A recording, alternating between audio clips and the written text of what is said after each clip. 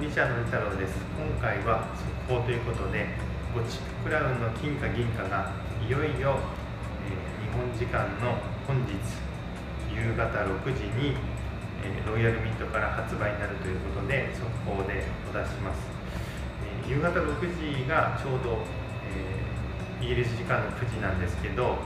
前回ですねソブリン金貨が発売された時に、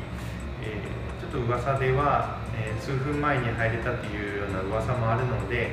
え、30分ぐらい前ですね5時とか、まあ、5時半そのぐらいから、え、ホームページをチェックしていた方がいいかなと思います。あとはあのログインですね。あの自分の ID でまずログインをしておくと、え、時短ができるかと思いますので、えその辺りとあとはカードの準備と、まあ、残高確認ですね。そういったもの含めて、えされるといいんじゃないかなと思います。じゃああの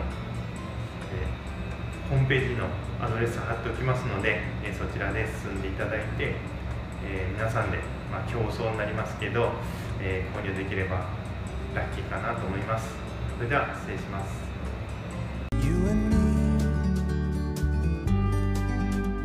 To be. outdoors, forever free.